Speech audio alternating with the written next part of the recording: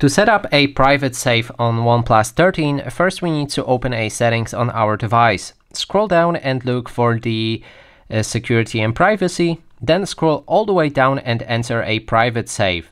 Now you need to set up your privacy password. If you have it already, you can type it in. If not, click on the settings on the pop-up that uh, just showed uh, up and uh, then you'll be able to set it up.